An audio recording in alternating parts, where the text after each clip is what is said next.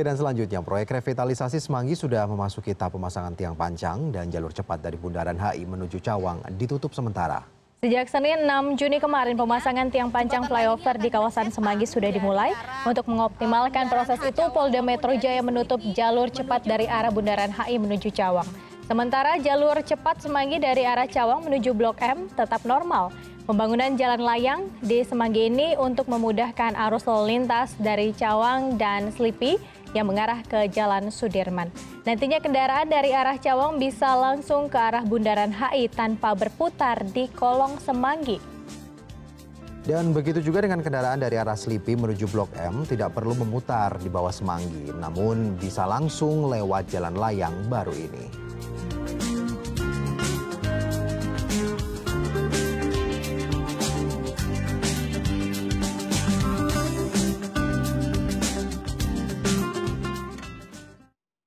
Dan kita sudah terhubung dengan koresponden CNN Indonesia Rama Aryadi yang akan melaporkan mengenai perkembangan terbaru seputar penutupan jalur cepat di kawasan Semanggi ini. Ya, selamat pagi Rama. Bagaimana jalur mana yang akan ditutup dan berapa lama jalur ini akan ditutup Rama?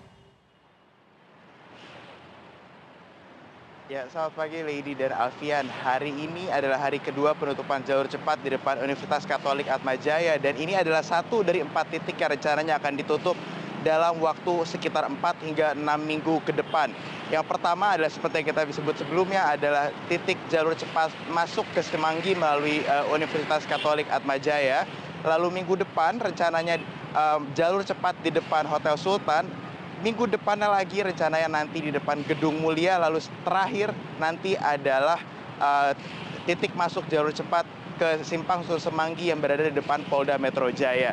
Eh, diperkirakan ini akan eh, pembangunan tiang pancang dan penutupan ini akan memakan waktu sekitar 4 hingga 6 minggu dan mereka menggunakan precast konkret. Semoga saja nanti tidak begitu lama jalur-jalur ini ditutup karena ini merupakan jalur yang sangat sibuk dan sangat padat dilalui oleh banyak kendaraan. Apalagi jelang sore hari ketika seluruh warga dari daerah penyangga uh, ingin pulang uh, ke rumah-rumahnya di daerah Bogor dan juga Bekasi. Lady dan Alfian. Baik, terima kasih atas laporan Anda korespondensi CNN Indonesia Rama Aryadi yang melaporkan langsung dari Jakarta.